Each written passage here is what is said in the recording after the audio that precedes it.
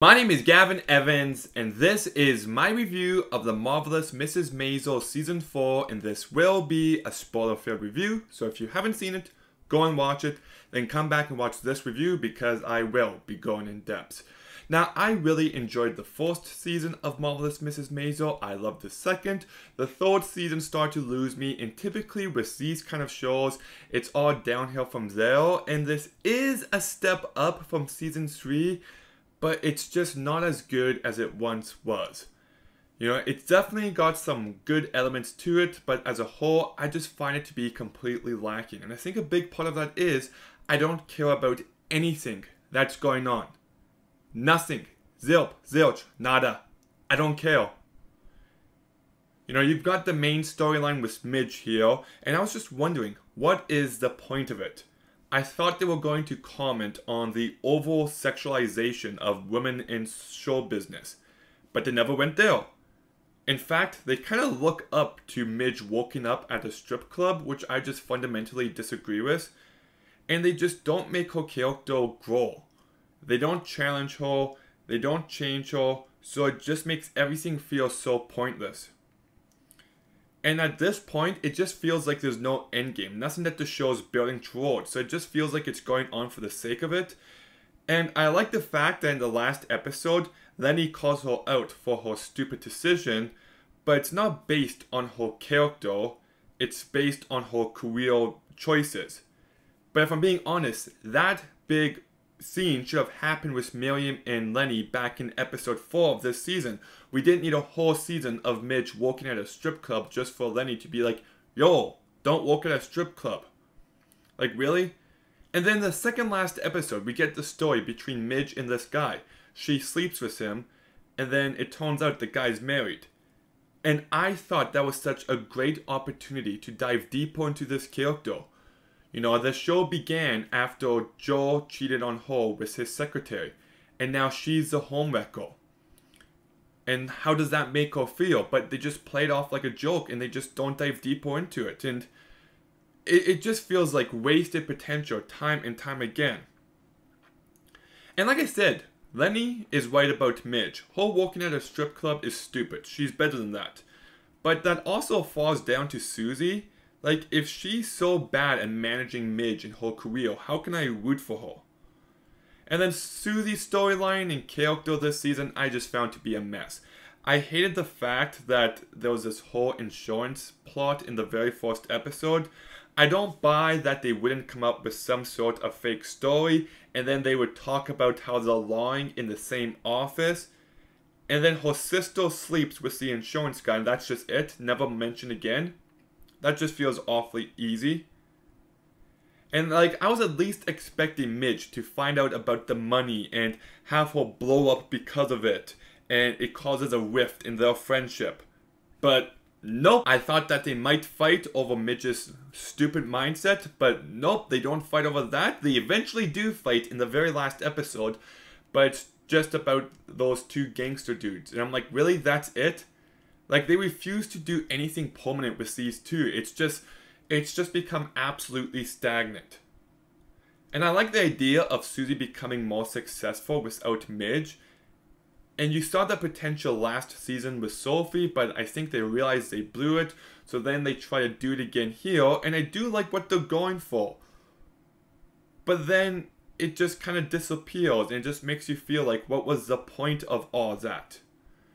You know, you've got Sophie who hits rock bottom, which I didn't buy for a second, but then Susie gets her back up, gets her famous and beloved again, and then that's just it. Like, her and Midge get into it, and yeah, like that's it. So it just makes you question why was Sophie Lennon even in this season? What did she add? And the answer is absolutely diddly squat. Now, the one aspect of Susie's character that I did like this season is that I thought the way they handled Jackie's death was actually quite impactful. You could see how broken up Susie was about it and how she didn't really know this guy that she spent all this time with. But then after the funeral, it's just forgotten and never brought up again. So like the show has good ideas, they just won't dedicate themselves to any specific path, and they refuse to cause more conflict or drama between the characters. And it's also quite clear that they don't know what to do with Joe now. You know, every scene with him and Midge now just seems so unneeded, and I don't really care about their friendship or whatever. I actually wish they focused on him running his club more, but they don't. It just seems like an afterthought. Instead, they focus more on his relationship with Mei Lin, which I just don't care about, and why should I? Like, it's just another relationship for the sake of it. Mei Lin isn't given any bit of depth. Her only character traits is that she's Joel's girlfriend and she's Asian. That's it. You know, and then you got this whole plot of where she becomes pregnant, and they want me to think that's this terrible, awful thing.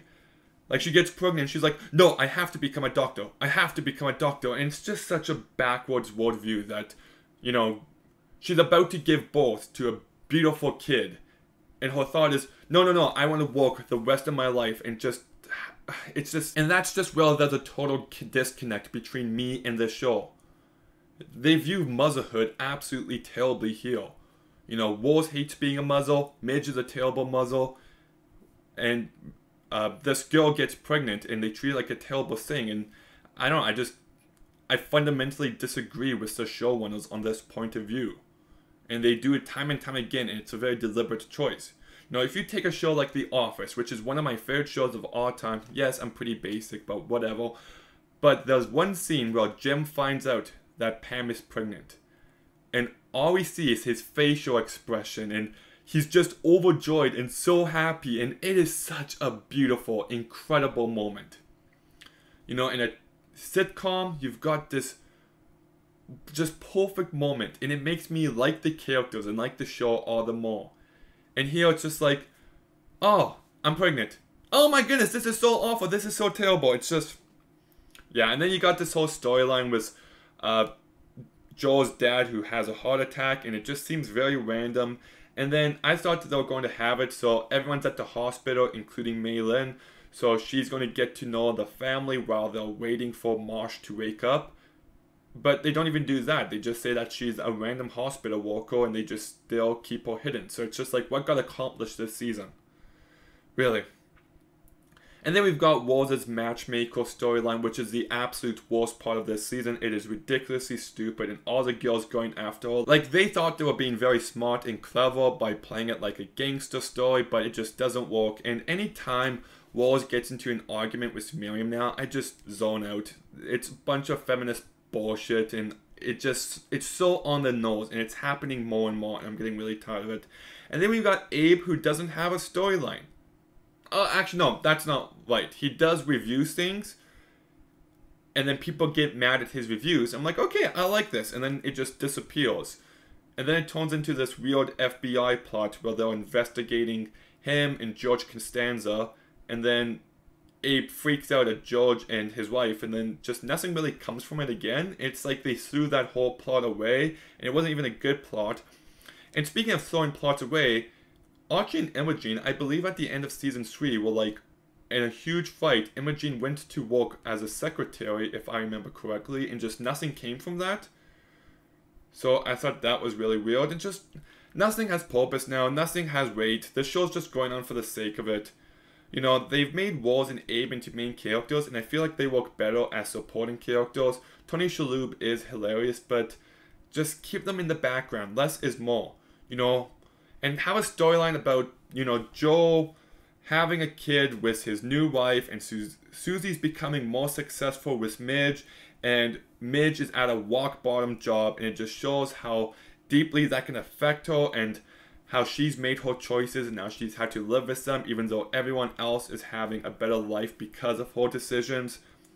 But they just refuse to give this whole situation any bit of complexity, any bit of depth or nuance. They refuse to shame her. They just want to keep viewing her as empowering. And once again, that's where the disconnect happens. Now let's talk about the performances. Rachel Brosnahan is once again very funny, very charming, very good, but nothing new. And once again, she is the worst mom on the planet. You've got Alex Borstein, who I actually think is giving some of her best work here. I think she is just so funny. Like, really great work from here, even though there was one point where she's mad at Sophie for giving her a call because she doesn't want one, but it's just like, just sell the call. I don't know. I thought that was dumb. Michael Zegen is good, but he just has nothing to walk with now. And he's absolutely white about soup. He knows what he's talking about. Tony Shalhoub is good once again. I like some of the heartfelt ele- elements between him and Midge. But the whole fake story of them buying the place back for Midge is just completely unneeded. Like, why not just have some emotion there and have them be genuinely thankful? But they can't do that. Marin Hinkle, I don't care for. She's too over the top. Uh, Jane Lynch is good. I don't know if I mentioned this in one of my other reviews, but I was surprised to see that it's Jane Lynch. And then when I see it's Jane Lynch, I'm like, oh yeah, that totally is Jane Lynch. You've got Alfie Fuller, who's uh, Susie's secretary, and I think she does a fine job. I just wish she had more to do. You've got Gideon Glick, who was weird as Alfie, but he makes it work. You've got Leroy McClain, who's back for one episode as um, Shy Baldwin, and he's good. I like the bathroom scene with him and Midge, actually. I do think that's a good scene. But the whole plot of people watching over him, I thought was really dumb. Jason Ralph isn't in this season much at all, but he has a very distinct personality in the time he is. George Costanza, Jason Alexander is good as always. Hari Nef, I just can't take seriously. Like, look, he's a dude. He's wearing a wig and pretending to be a, a girl, but you just don't buy it. It's just so obviously a man in a dress. like, I just. You can't actually expect me to believe that this is a woman by any means. Like, it's just a complete joke, and his character is just so unneeded. I feel like they were building up to it a bit more, but then just nothing happens. You've got Luke Kirby, who I still think does a fine job as Lenny Bruce, but he's kind of lost some of his mystique, lost some of his coolness, and it just doesn't feel like they know what to do with this character. Is he dating Midge or what's going on? Is I don't know. You know, like I like the one scene where he shows up at the strip club and you know jokes around with her, and even though they tell you that he did a great job in the last episode, I didn't really buy into that, so whatever. And Stephanie Houser, who plays Joe's girlfriend, uh, I hate the character, but honestly, she does a good job. She brings lots of energy to it, but she just isn't giving e- enough material. I do think this show is still, once again, very well directed. I love the look of the fair in the first episode, and that scene in the Ferris wheel with them talking to each other is quite funny. It's still shot very well. The outfits look great. I love the soundtrack, especially when they use Whoa, Why Can't We Be Friends? That was mm, perfect. It still got charm. And I do think what ends up saving this season is just how funny it is. Like this, yeah, this show still cracks me up. There were quite a few scenes where I got a good laugh. And like the scene where Midge goes up on stage instead of that one guy and just says his act word for word was really funny. The fact that they changed Ethan's birthday because why not? The scene where Joe goes to the party, he's like, "Oh yeah, Abe was right behind us," and Abe comes up. He goes like, "Why didn't you hold the elevator open for me?" So now I have to wait for it to go up nine floors, and then down nine floors, and up nine floors. That's 27 floors. I thought that was funny. Uh, him playing rock paper scissors was really funny. I thought the uh, Susie having job interviews was absolutely hilarious. I thought the one scene where Sophie visits Miriam and Dawes is there was really funny. I love it when Midge says to Sophie, "Oh, I get the laxative commercials now because you're so full of shit." That was great. Uh, the clothesline for Susie's office really cracked me up. And I do like how they kind of touch on the fact that comedy from life experiences is funnier than overdone jokes. I, I just wish there was more going on here. Like, there was enough charm, and this season is really funny. I was entertained, but where's this all going? Are the characters going to change or just be stagnant for the rest? Are they ever going to be challenged? Is anything relevant going to happen? It's just more of the same at this point. It needs to end. There's nowhere left to go. You know, this is serialized storytelling. It's not episodic. I don't watch Seinfeld and be like, oh, the characters aren't grown because it's done in an episodic format. But here they're attempting to tell stories and they're attempting to give arcs. But they just don't succeed at any of that because they don't shame Marion and they don't dive deeper into the characters. You know, if they actually highlighted certain complexities and went for bigger ideas, then I would like to show more. and especially because the show is so progressive, like it has been from the, the start, but now it's getting to the point where there's just a total disconnect.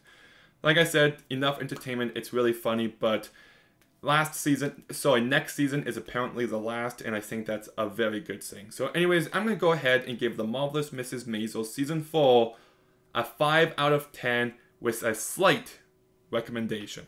Okay, have you seen The Marvelous Mrs. Maisel season 4? What did you think about it? Let me know in the comments down below. Make sure you like, make sure you comment, make sure you subscribe. Stay tuned for some more videos soon, and Gavin out.